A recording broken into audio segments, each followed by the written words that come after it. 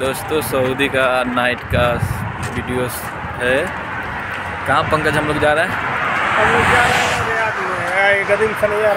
और थोड़ा सामान लाने के लिए जा रहे हैं। देखिए नाइट का वीडियो एकदम पूरा एकदम लाइट वेट रमज़ान का टाइम है। पूरा। सन्नाटा सन्नाटा बना हुआ है।